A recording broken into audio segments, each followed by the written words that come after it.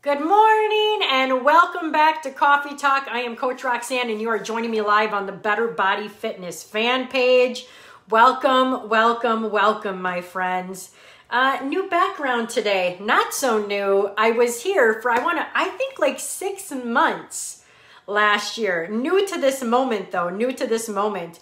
Good morning. Once you're on, drop it in the comments, my friends. Happy Monday. Beth, good morning. Charlene, good morning. Uh, crazy. I don't know why, but because I'm here in this room, like the echo, echo, hello. Amber, good morning. Lisa, good morning. Monica, hello. Hootsack, good morning.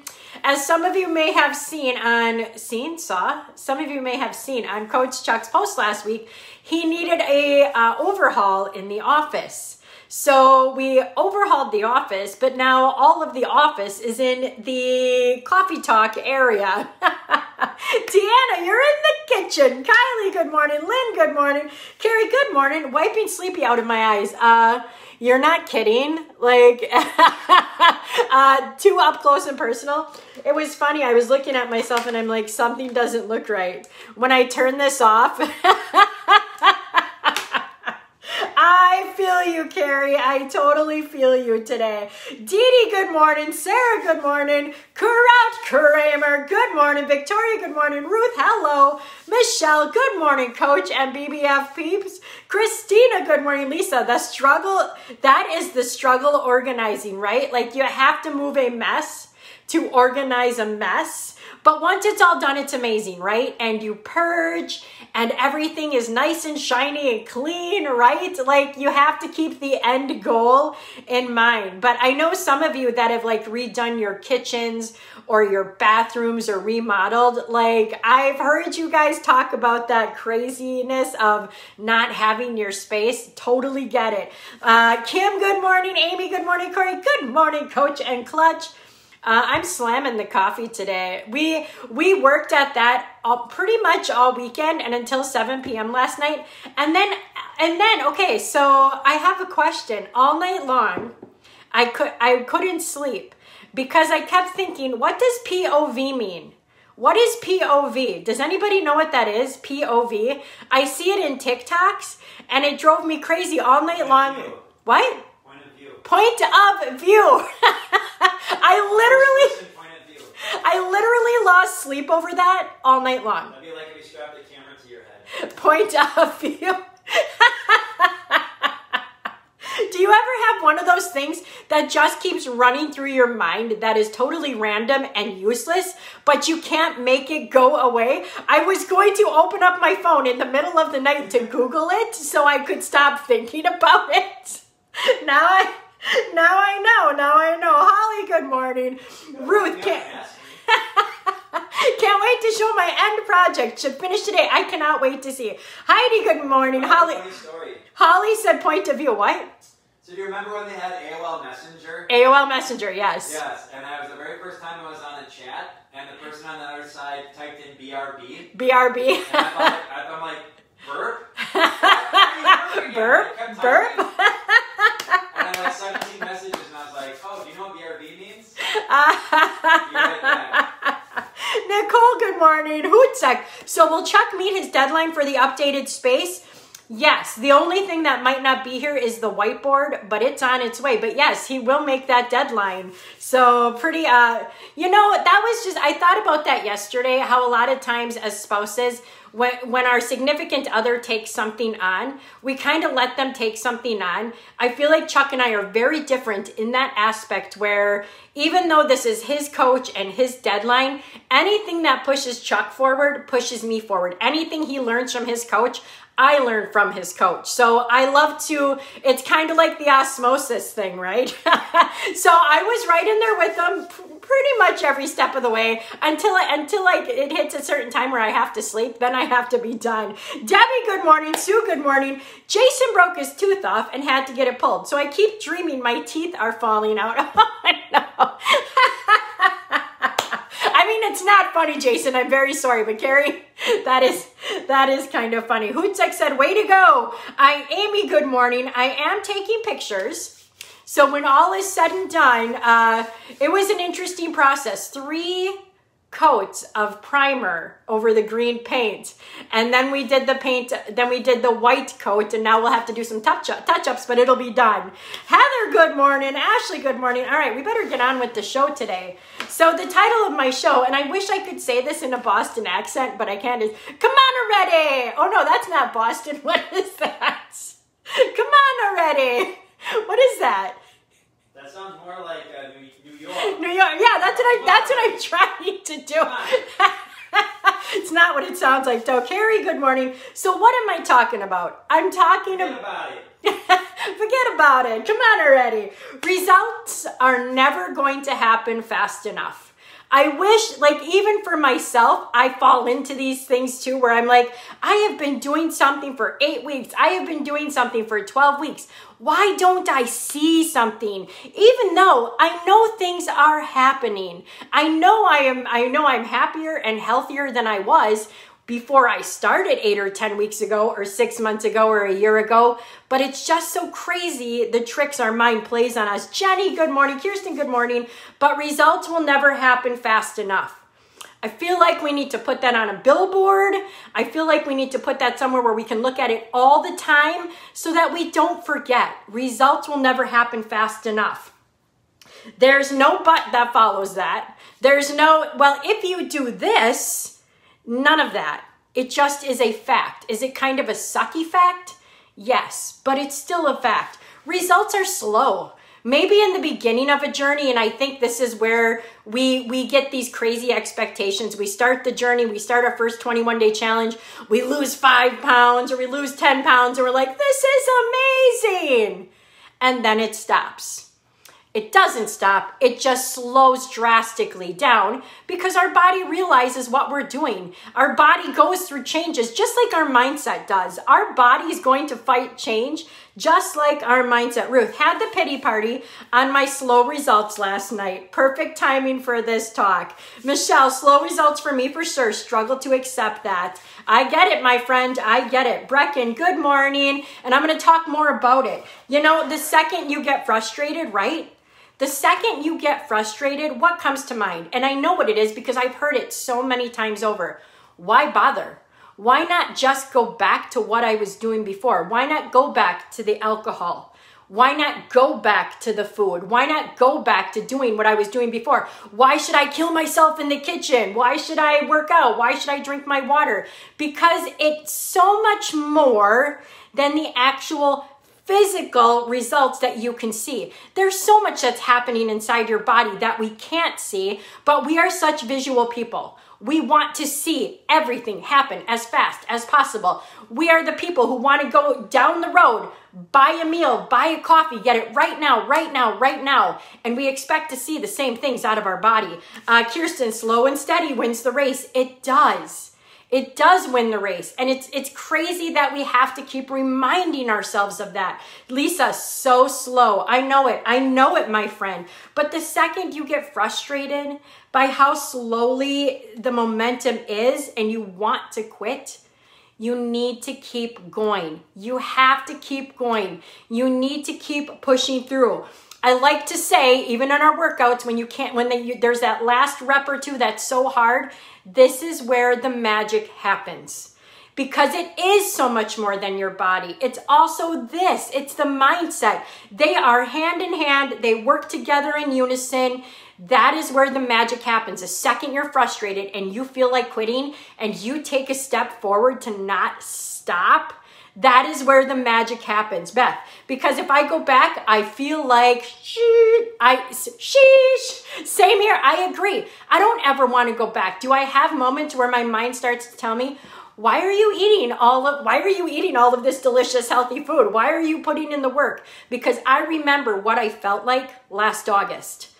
And will that happen if I go back to what I was doing before? Yes, because I have come leaps and bounds. Here we are a year later, and I love how I feel. I love the energy. I love the mindset. I love those things.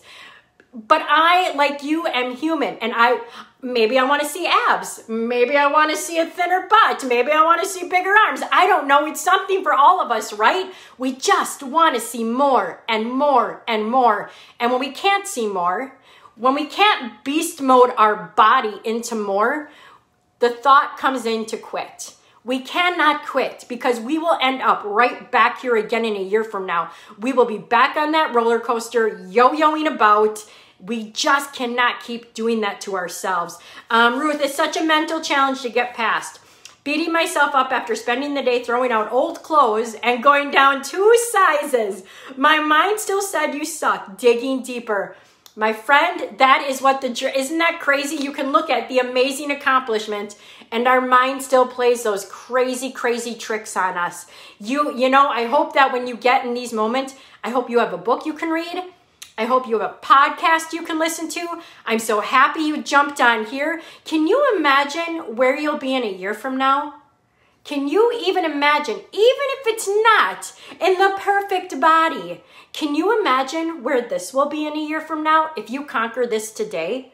Do you even think about where your mindset was a year ago compared to where it is today? I'm sure it's leaps and bounds. Michelle, yep, I have to remember that.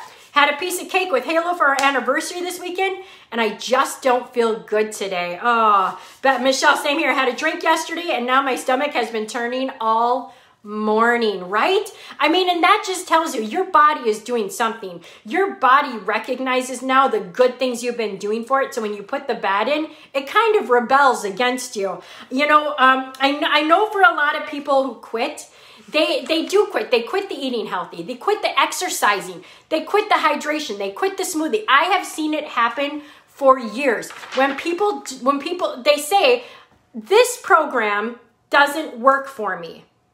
This program doesn't work for me. It's not the program. It's not the program. It's consistency. It's putting in the work every day. When you say this program, that is such a vague, what do you mean? The workouts, the nutrition, the hydration, the smoothies, these things are working for you. They're not working against you. So when you quit, you're not quitting on that program. You're quitting on yourself, like you've done in the past with every single kind of diet that you've tried to do. This has to be about lifestyle.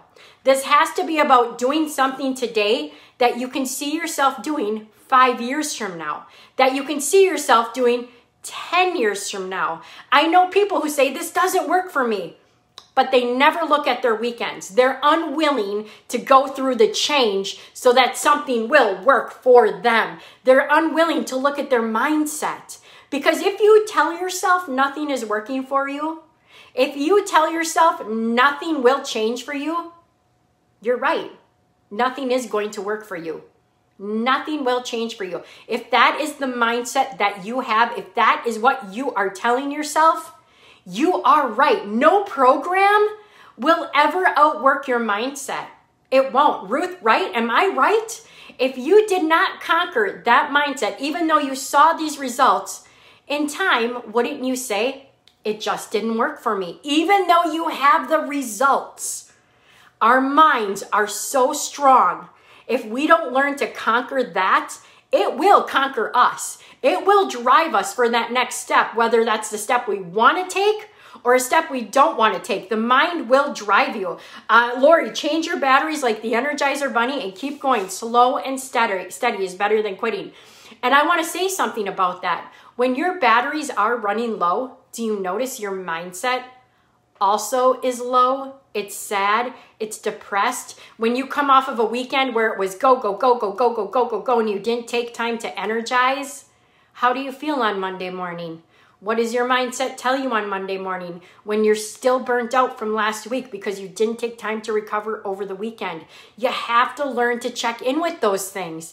If you don't start to recognize them, you're going to end up going back to where you started. You've got to learn to recognize that. Carrie, this past weekend, I had a friend text me, ask me if I still was part of BBF, and I said yes.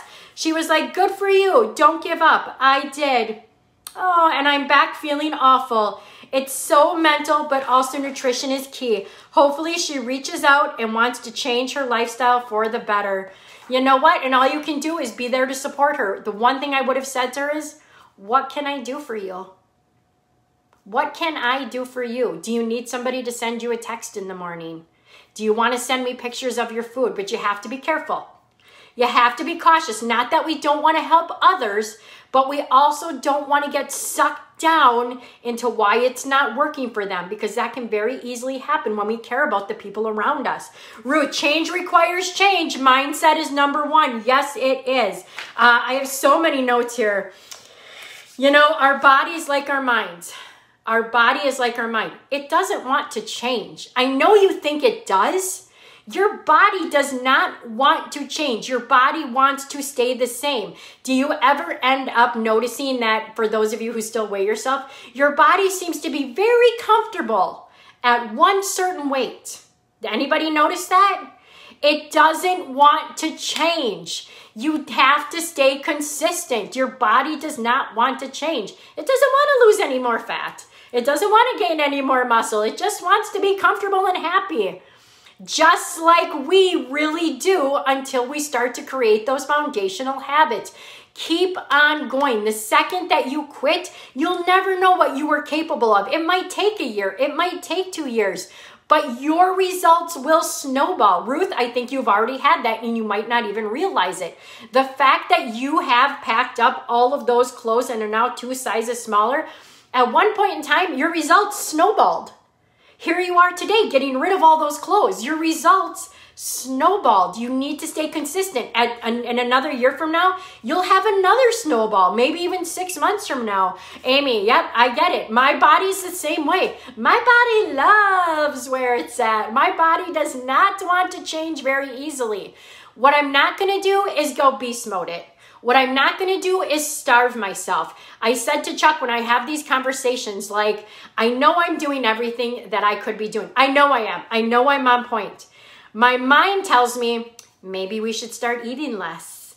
Maybe we should start exercising more. And then I have to remind myself, you're not going to do that forever. And that's what this journey is all about lifestyle, lifestyle, lifestyle.